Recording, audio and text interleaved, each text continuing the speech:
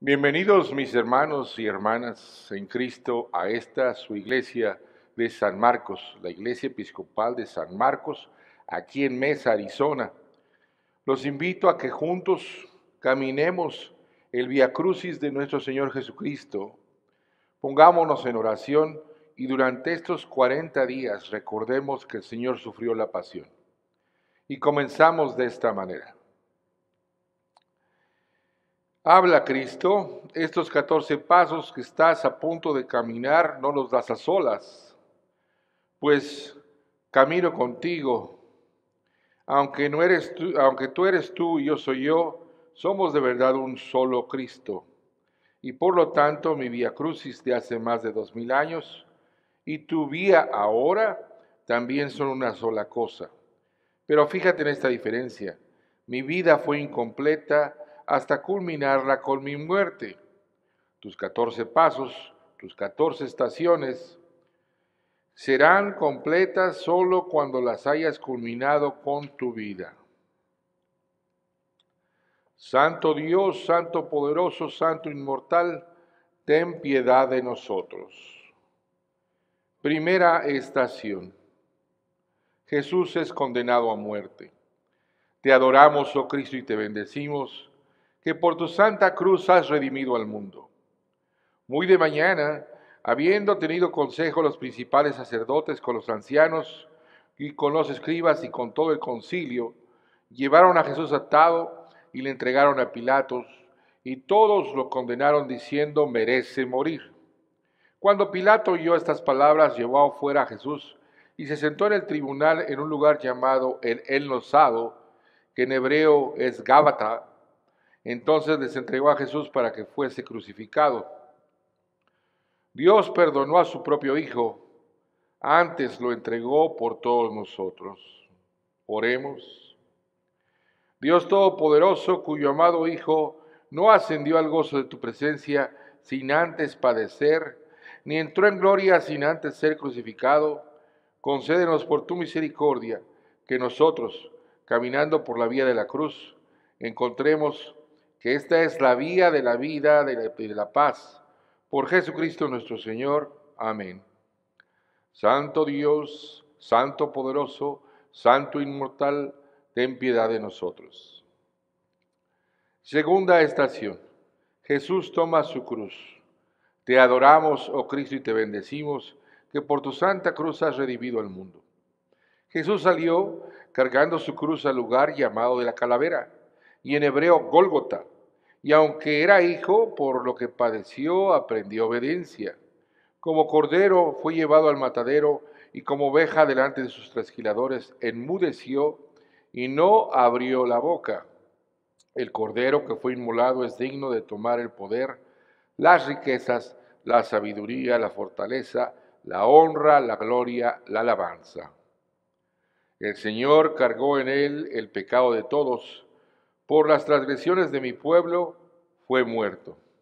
Oremos.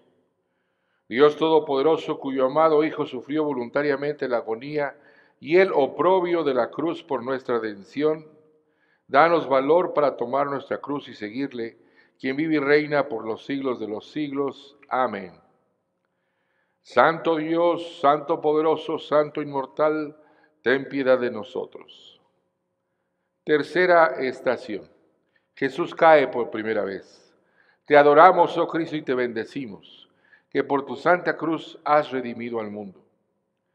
Cristo Jesús, siendo en forma de Dios, no estimó el ser igual a Dios como cosa a que aferrarse, sino que se despojó a sí mismo y tomando forma de siervo, echó semejante a los hombres, y estando en la condición de hombre se humilló a sí mismo, haciéndose obediente hasta la muerte y muerte de cruz. Por lo cual Dios también le exaltó hasta lo sumo y le dio un nombre que es sobre todo nombre. Vengan, inclinémonos, doblemos la rodilla y postrémonos delante del Señor nuestro Hacedor, porque Él es el Señor nuestro Dios. Ciertamente llevó Él nuestras enfermedades y sufrió nuestros dolores. Oremos. Oh Dios, que nos hallamos rodeados de tus santos y tan grandes peligros, de tantos y tan grandes peligros, que a causa de la fragilidad de nuestra naturaleza no podemos estar siempre firmes. Concédenos la fortaleza y la protección necesaria para sostenernos en todo peligro y triunfar de toda tentación. Por Jesucristo nuestro Señor. Amén. Santo Dios, Santo poderoso, Santo inmortal, ten piedad de nosotros. Cuarta estación, Jesús encuentra a su afligida madre. Te adoramos, oh Cristo, y te bendecimos, que por tu santa cruz has redimido al mundo. ¿A quién te haré semejante, hija de Jerusalén? ¿A quién te compararé para consolarte, oh Virgen de Sión? Porque grande como el mar es tu quebrantamiento. Bienaventurados los que lloran, porque ellos recibirán consolación. El Señor será tu luz eterna y tus días de duelo terminarán. Una espada traspasará tu misma alma y llenará tu corazón de amargo dolor. Oremos. Oh Dios, que quisiste que en la pasión de tu Hijo una espada de aflicción traspasara el alma de la bendita Virgen María, su madre, concede misericordiosamente que tu iglesia, habiendo participado con ella en su pasión, sea hecha digna, habiendo participado con ella en su pasión, sea hecha digna de participar en el gozo de su resurrección, quien vive y reina por los siglos de los siglos. Amén. Santo Dios, Santo poderoso, Santo inmortal, ten piedad de nosotros. Quinta estación. La cruz es puesta sobre Simón de Sirene. Te adoramos, oh Cristo, y te bendecimos, que por tu santa cruz has redimido al mundo. Cuando salían, hallaron a un hombre de Sirene que se llamaba Simón, que venía del campo y le pusieron encima la cruz para que la llevase tras Jesús. Si alguno, si alguno quiere venir en pos de mí, niéguese a sí mismo y tome su cruz y sígame. Lleven mi yugo sobre ustedes y aprendan de mí, porque mi yugo es fácil y ligera mi carga. El que no lleva su cruz y viene en pos de mí, no puede ser mi discípulo. Oremos. Padre Celestial, cuyo bendito Hijo no vino para ser servido, sino para servir. Bendice a todos aquellos que siguiendo sus pisadas se dan a sí mismos al servicio de los demás, que con sabiduría, paciencia y valor ministren en su nombre a los que sufren, a los desamparados y a los necesitados, porque aquel que dio su vida por nosotros, tu Hijo, nuestro Salvador Jesucristo. Amén. Santo Dios, Santo poderoso, Santo inmortal, ten piedad de nosotros. Sexta estación. Una mujer enjuga el rostro de Jesús. Te adoramos, oh Cristo, y te bendecimos, que por tu santa cruz has redimido al mundo. Lo hemos visto sin belleza ni esplendor, su aspecto no era nada atrayente y fue despreciado y rebajado. Era un hombre lleno de dolor, acostumbrado al sufrimiento. Lo despreciamos como alguien que no merece ser visto. No lo tuvimos en cuenta y sin embargo Él estaba cansado con nuestros sufrimientos. Estaba soportando nuestros propios dolores, mas Él fue herido por nuestras rebeliones, molido por nuestros pecados.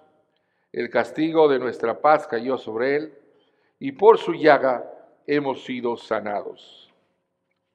Restáuranos, oh Señor Dios de los ejércitos, muestra la luz de tu rostro y seremos salvos. Oremos. Oh Dios, que antes de la pasión de tu unigénito Hijo, te revelaste su gloria en el Monte Santo, concede que al contemplar por fe la luz de su rostro, seamos fortalecidos para llevar nuestra cruz y ser transformados a su imagen de gloria en gloria por Jesucristo nuestro Señor. Amén.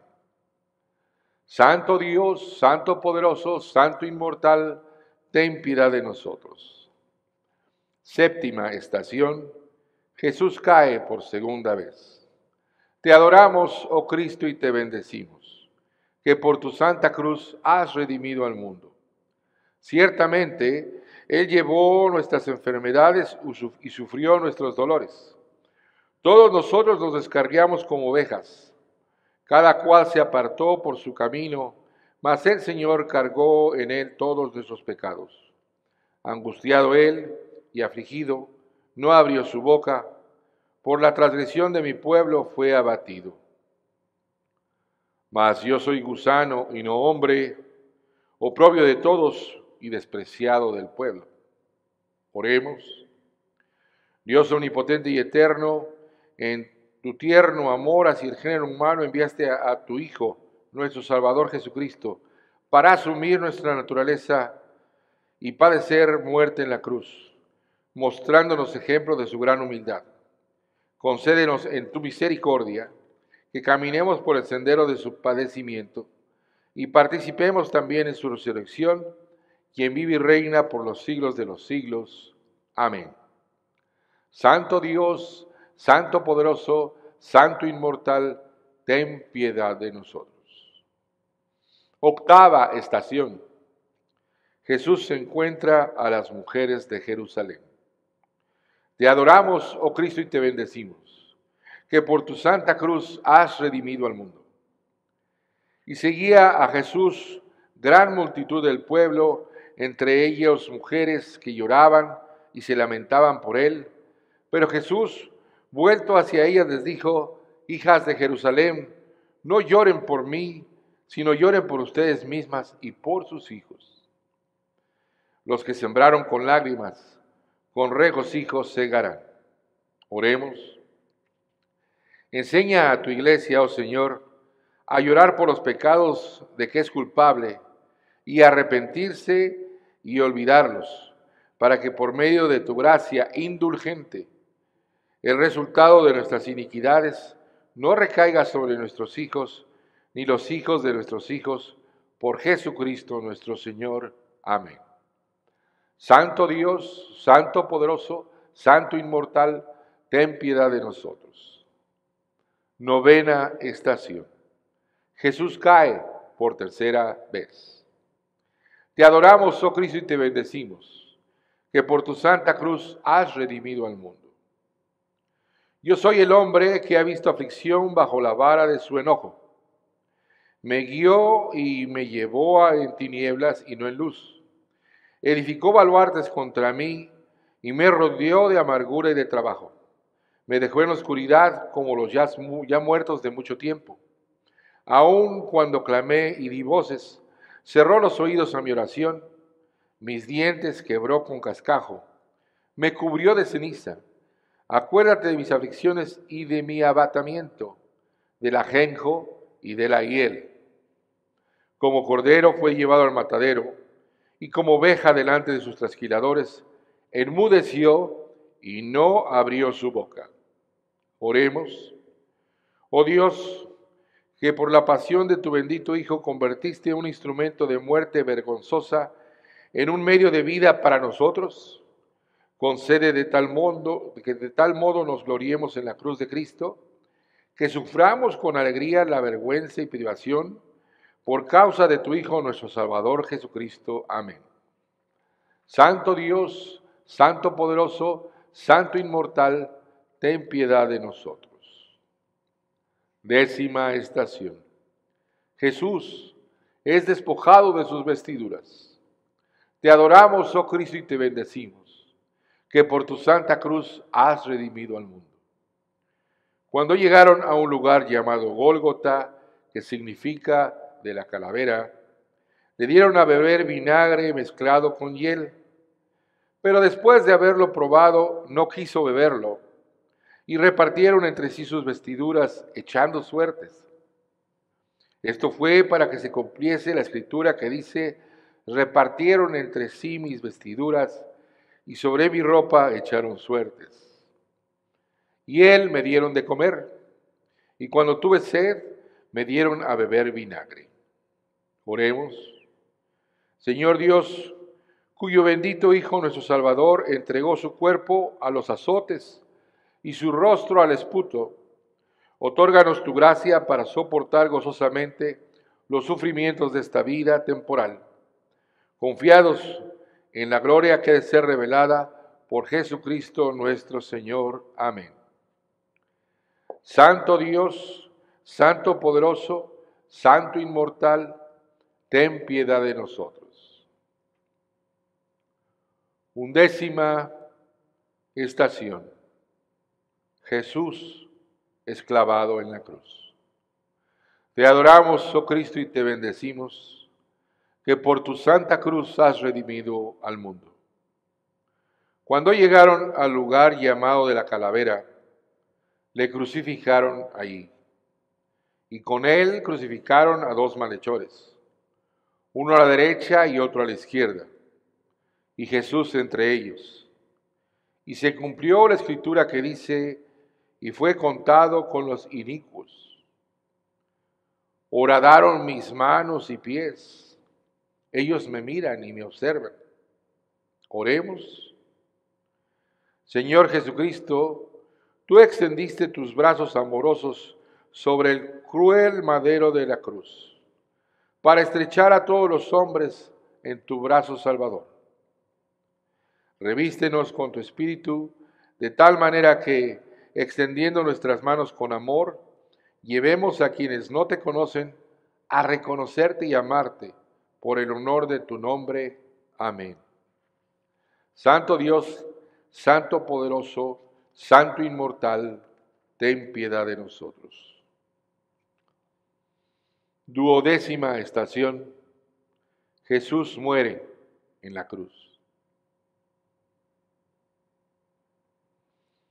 Te adoramos, oh Cristo, y te bendecimos, que por tu santa cruz has redimido al mundo. Cuando vio Jesús a su madre y al discípulo a quien él amaba, que estaba presente, dijo a su madre, Mujer, he ahí a tu hijo. Después dijo al discípulo, He ahí tu madre. Cuando Jesús hubo tomado el vinagre, dijo, Consumado es. Y entonces, clamando con gran voz, dijo, Padre, en tus manos encomiendo mi espíritu. Y habiendo inclinado la cabeza, entregó el espíritu. Por nosotros Cristo se hizo obediente hasta la muerte y muerte de cruz. Oremos.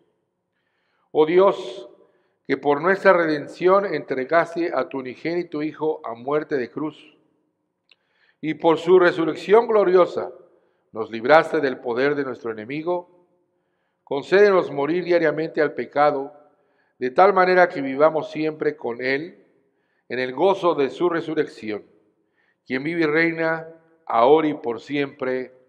Amén.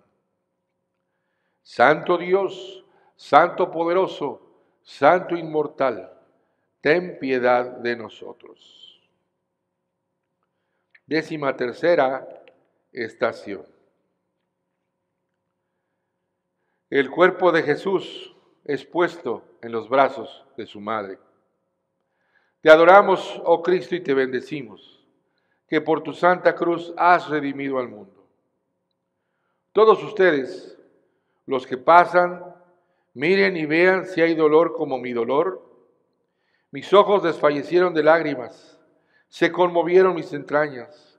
Mi corazón fue derramado a causa del quebrantamiento de mi pueblo.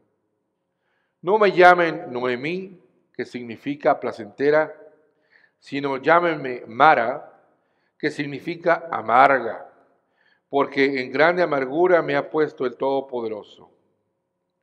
Sus lágrimas ruedan por sus mejillas no tiene quien la consuele.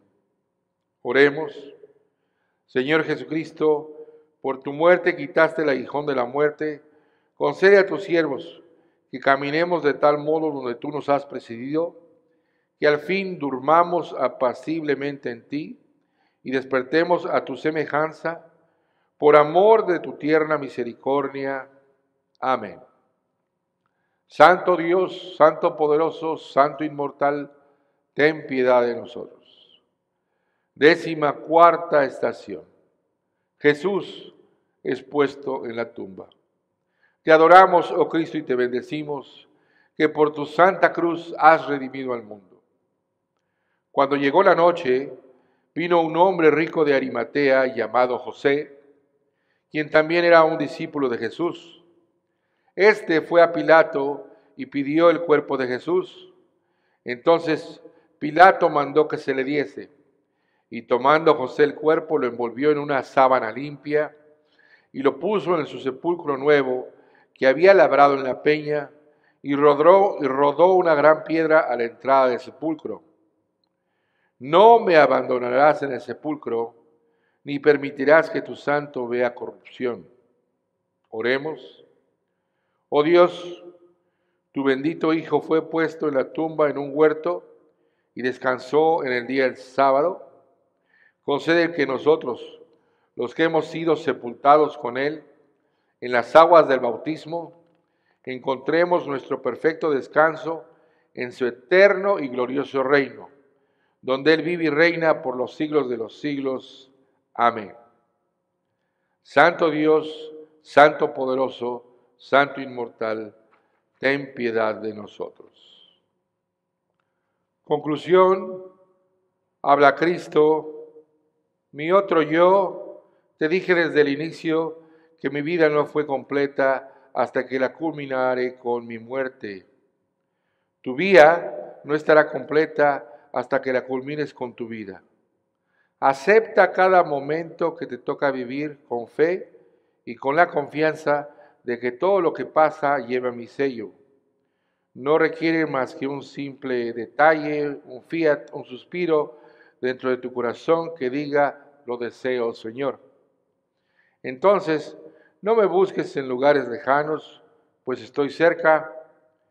Tu mesón de trabajo, la oficina, la cocina, estos lugares son tus altares donde ofreces amor y estoy contigo ahí.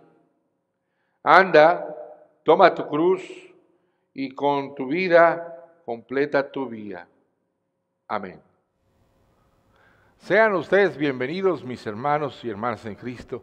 Esta es su iglesia que los ama y los quiere, San Marcos, la iglesia episcopal aquí en Mesa, Arizona. Estamos a punto de, compartir con ustedes la cuarta lección o meditación de la cuaresma. Ustedes deben escucharla viernes 12 de marzo o también miércoles 17 de marzo. Y la cuarta lección dice así, alégrense es cuaresma. Suena extraño, ¿no? La alegría y la cuaresma simplemente no parecen ir juntas. La cuaresma es una temporada sombría. En la práctica popular, la cuaresma posee todas las características de un funeral de seis semanas. Los aleluyas se silencian dentro de la liturgia de la misa, las celebraciones sociales se cancelan o al menos se reducen al mínimo, nuestra atención se centra exclusivamente en el cuerpo crucificado de un hombre joven, judío, que muere en agonía en la cruz de un criminal. Nuestras emociones se conmueven hasta las lágrimas, con palabras como sufrimiento, sacrificio, pasión y muerte. Todo este énfasis en la cruz tiene la intención de llevarnos al arrepentimiento y a practicar actos de ayuno y disciplina corporal. Este énfasis cuaresmal en la muerte y el sufrimiento de nuestro Señor no es sólo una alteración del testimonio bíblico y la práctica de la iglesia primitiva, sino también una interpretación lamentable de la teología de la redención. Originalmente, la intención de la cuaresma era proporcionar un periodo de meditación y contemplación en, preparación para la Pascua cristiana de la resurrección, que celebraba la crucifixión y la resurrección como un solo evento redentor. Hoy, sin embargo, hemos hecho pedazos lo que Dios había unido originalmente. Para la mayoría de nosotros, la Pascua se ha reducido a un solo domingo, mientras que el único día llamado Viernes Santo se ha amplificado e intensificado como una vigilia de la muerte de 40 días llamada cuaresma, el número de días de la temporada de cuaresma ha crecido en la iglesia a medida que avanza a través de la historia y el cambio de las observancias litúrgicas. Cuatro hechos nos confrontan con respecto a la cuaresma. Primero, nuestro Señor Jesucristo no la estableció, la iglesia lo hizo. En segundo lugar, en la iglesia primitiva, antes de la Semana Santa, antes que el jueves santo y el viernes santo entraran en uso litúrgico regular, la preparación para la Pascua era la gran vigilia. Cada cristiano tenía dos días de ayuno y oración anteriores a la Pascua. Estas 40 horas crecieron y crecieron hasta convertirse en una observación de 40 días, en una práctica de 40 días. En tercer lugar, a medida que la cuaresma se prolongó, cambió de una práctica de meditación y contemplación, tanto de la crucifixión como de la resurrección, a un periodo de 40 días de penitencia y remordimiento relacionado exclusivamente con la pasión y muerte de nuestro Señor Jesucristo. Por lo tanto, se convirtió simplemente en una extensión del estado de ánimo y carácter del Viernes Santo. Cuarto, la resurrección se divorció de la crucifixión y se concibió y desarrolló una teología truncada de la cuaresma en la mente de todos los cristianos. Las prácticas de cuaresma que resultaron de esta teología truncada fueron y lamentablemente continúan siendo engañosas. Cuando escuchamos la palabra arrepentíos, inmediatamente evocamos visiones de dolor y cenizas, rostros llenos de lágrimas de pecadores culpables llenos de arrepentimiento. llenos de remordimiento, tristeza y pesar, clamando a la misericordia de Dios. Ahora, el dolor y el arrepentimiento son ciertamente parte del proceso del arrepentimiento en la Biblia, pero no son los elementos principales de este proceso. El empuje básico de la palabra arrepentirse es el llamado al pueblo escogido de Dios a que se vuelva que regrese a Dios, que regrese al amor de Dios, como el grito de, acerca la cara. Por tanto, el arrepentimiento es un mandato tajante, volverse y regresar a Dios, arrepentirse y volver al amor de Dios. Es un llamado a dirigir toda nuestra vida en dirección a Dios. Sin embargo, dentro del mandato en sí, hay un recordatorio de que quien da el mandato es un Dios que nunca se ha apartado de nosotros, es un Dios que nunca nos deja, es un Dios que nunca se ha apartado de su pueblo. Por lo tanto, el arrepentimiento no es un desprecio, en verdad es un impulso. Debemos arrepentirnos no principalmente porque hayamos hecho algo malo o incorrecto, sino porque nuestro Dios ha hecho algo muy bueno y hará algo aún mejor en el futuro para y por nosotros. Arrepiéntete, vuelve a Dios. Dios es bondadoso y misericordioso. Dios es paciente con su pueblo y cumple su promesa. Dios siempre está dispuesto a perdonar y no a castigar a su pueblo. Dios da y quita pero Dios al final devuelve, devuelve todas las cosas, da todo su amor a su pueblo. Esta es la alegría de la cuaresma, la visión de la victoria que en medio de la derrota, la visión del perdón en los oscuros pantanos de la culpa, la visión de la esperanza en la desolación y la desesperación, la visión de la vida en el valle de sombras de muerte. Es por eso que la iglesia primitiva vio la crucifixión y la resurrección como un solo evento redentor. La cruz sin la resurrección es una batalla peleada y perdida. La resurrección sin la cruz es una victoria sin sentido, una batalla no librada.